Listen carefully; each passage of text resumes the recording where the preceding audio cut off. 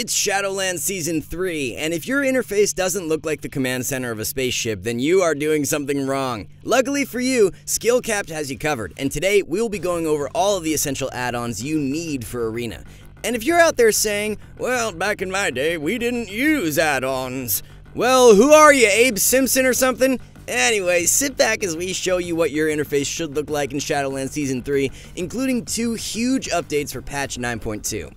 But before we get into it, we wanted to remind you of our 250 plus rating guarantee over at skill-capped.com slash wow. Yes, that's right. If you don't gain at least 250 rating while actively using our website, we refund you. It's as simple as that.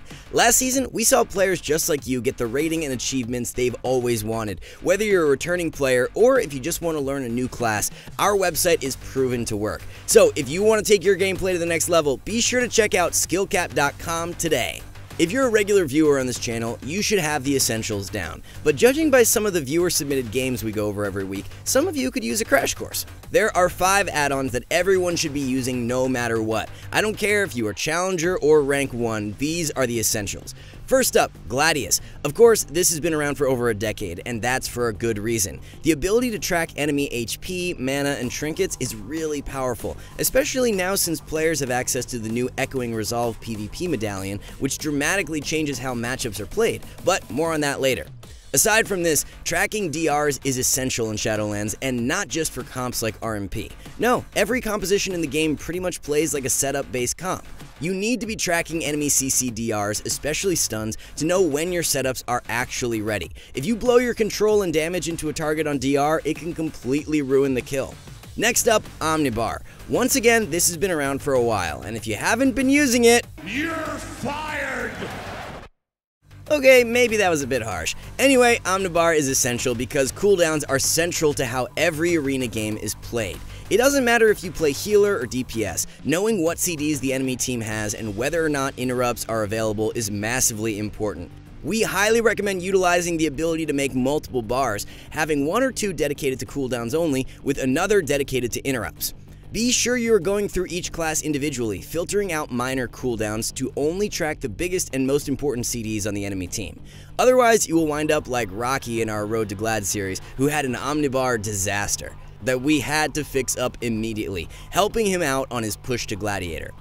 Once you have your Omnibar set up, we highly recommend getting Omni CD. This add-on tracks party cooldowns, which is important for normal organized arena, but also for any form of solo queue, since without communication, it is nearly impossible to keep track of your team's cooldowns. Just like before, make sure you're filtering CDs on a class-by-class -class basis. You don't need to track every ability your teammates have, just important things like major defensive and offensive cooldowns. Next up on our list of essential add-ons for 9.2, we have Weak Auras. Love it or hate it, you need to be playing with this add-on, no questions asked. It's like the steroids of WoW Arena. If everyone is using it, then it's technically not cheating, right? Honestly, Weak Auras is so complex that we would need to make an entire video explaining how to set it up. Oh wait, we already did that! So be sure to check out our Weak Auras guide after this video.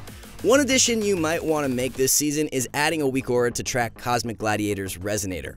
We showed you how to do this in our recent video on 9.2 trinkets, but really if you just search the word resonator on the Weak Auras website, there are plenty of options you can choose from. And speaking of important 9.2 updates, be sure to get the newest version of Big Debuffs. This add-on will display important buffs and debuffs on different unit frames across your UI. With the Echoing Resolve trinket being so game-changing, this add-on makes it way easier to see when enemy players have the buff, helping you avoid situations where you might accidentally stun into an immunity. And with Holy Priest being so popular in Season 3, it will do the same for Holy Ward, letting you know when you will have to play around the buff. But outside of these meta-defining abilities in 9.2, Big Debuffs is still immensely important for all players who want to take Arena seriously.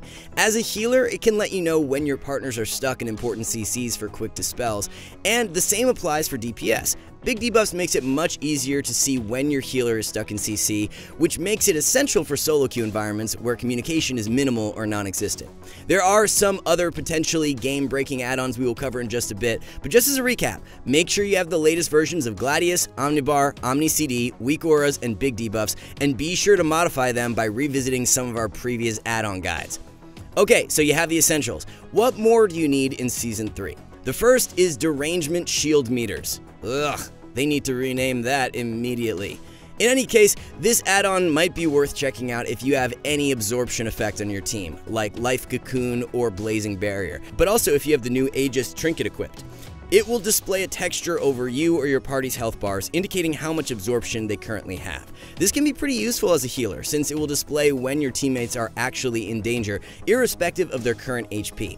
Another important add-on to check out is Diminish. Most of the time, you are simply paying attention to enemy CCDRs. If you want to do your setup, just wait and see when diminishing returns have fully faded on the enemy team, and then do your 3-2-1 setup. What Diminish allows you to do is track the CCDRs that are currently affecting your own character. This means you will be able to see when you or your team is vulnerable to the 321 CC setup of your opponents. Knowing this information can allow you to perform some skilled preemptive plays, like pre-using an important defensive cooldown before a stun lands, or by pre-kiting to avoid the setup entirely. Since RMP doesn't seem to be going away anytime soon, this add-on is just another piece of technology to help you adapt to the Shadowlands 321 meta. And speaking of add-ons to make setups more manageable, you might just want to check out Buff Overlay. Just like some of the other add-ons on this list, Buff Overlay is perfect for solo play. It will display some of the most important buffs on your party members directly in the center of their frame. What this means is that you will be able to make more informed decisions by knowing when your teammates are truly in danger. If they have a massive defensive buff on them, like Bubble or Ice Block, that means you might not need to peel, or instead, it might make you look for Mass Dispel and Shattering Throw to disrupt. In any case, this is a useful useful add-on for any solo queue enthusiasts this season. Last up, we have Jax Party Cast Bars, which displays your party members' cast bars next to their unit frames. This should be self-explanatory, of course, but before you say, I don't really need that, think about how much information that can actually tell you. Want to see if your partner is going for an important CC cast or big heal? Just look at their cast frames. Once again, this is simply perfect for any solo queue experience. Less communication requires more visual information. Let's wrap things up by going over some add-ons that make your life easier. These won't make you immediately great at PvP, but can help fix some issues. Over the past few expansions, Blizzard has removed a lot of iconic and important things from the game. Intercept, Deep Freeze, and even the entire city of Darnassus. But one thing that makes absolutely no sense is the removal of several important interface options. And that's the exact problem that Advanced Interface Options tries to solve. Many settings that were removed for modification are still in WoW's files, but they need to be modified through scripts or in-text documents. Instead of having to manually type in scripts like you're using 1990s Sims hacks, you can simply search through hidden game variables and modify them directly in the add-on itself. One of the most important settings to change are custom lag tolerance, especially if you play on higher latency. Another add-on you might want to consider is called Disable Loss of Control. This helps solve one huge interface issue that you personally might have experienced without knowing. Every time you get put in a CC effect, your entire action bar will be on cooldown. This is because when you are CC'd, you generally can't can't use any of your abilities, but this unfortunately has the side effect of making some cooldowns harder to track. If you take a CC right as a key ability is about to come off cooldown, you might have been tricked into thinking that it will be available the moment you press your trinket. This add-on simply removes the appearance of every ability being on CD when you are stuck in crowd control, and only shows the cooldown timers over single abilities that are actually on cooldown. Kinda confusing, we know, but TLDR, this should cause you to make better decisions in Arena. Last up, we have details. Once again, this add-on is pretty complicated on its surface, and we might need to make a full-length guide showing you how to use it. Most of the time, it's used for coping purposes, like making your team feel better after dying to a 90k Demon Bolt, but its utility is way more complex. If you're new to a class, details can help you diagnose key mistakes in your DPS or healing rotation.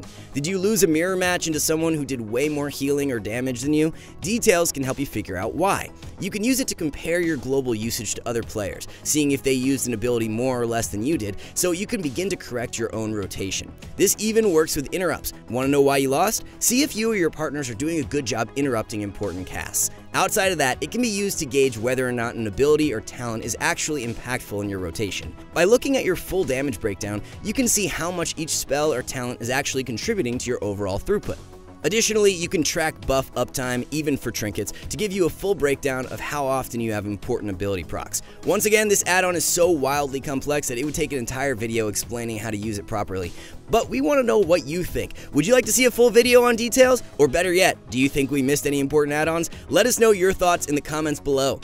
And while you're at it, we wanted to remind you once again of our 250 plus rating guarantee over at skill-capped.com. Yes, right now, for prices as low as $4.99 a month, you can get instant access to hundreds of premium videos designed to increase your rating in WoW. Joining today will also give you access to the premium section of our Discord server, where you can get on demand help with your UI, macros, or get any PvP related questions answered by our team of experts. Over half a million players have used our website, and with a money back guarantee, you have nothing to lose. So check us out at skill-capped.com slash wow today. Alright guys, that about wraps this one up. We hope you found the information in this video useful. If you did, let us know in the comments below. In any case, thanks for watching. See you soon.